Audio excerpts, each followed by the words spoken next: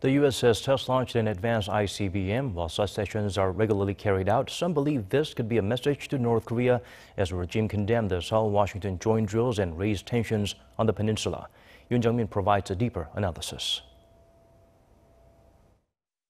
U.S. Air Force Global Strike Command says it launched on Wednesday an unarmed Minuteman III intercontinental ballistic missile from Vandenberg Space Force Base in California.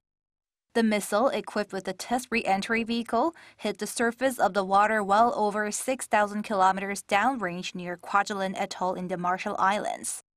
The U.S. Air Force said the test verified the accuracy and reliability of the ICBM weapon system and ensures America's ability to maintain a strong, credible nuclear deterrent and to guarantee the security of its allies.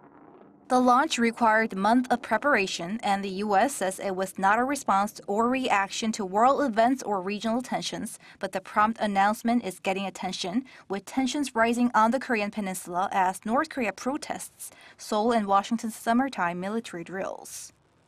I think the recent ICBM test by the United States uh, has uh, the intention of demonstrating uh, the commitment uh, to extended deterrence protect U.S.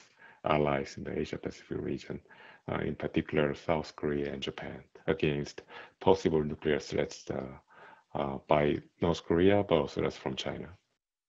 Slamming the Allies' joint exercises, Kim Yo-jong, the sister of the North Korean leader, insisted in her recent statement that the U.S. continues to increase its military threats against the regime and said North Korea will reinforce its defenses and preemptive strike capabilities.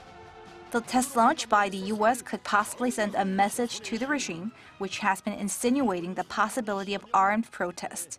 Yoon Jung-min, Arirang News.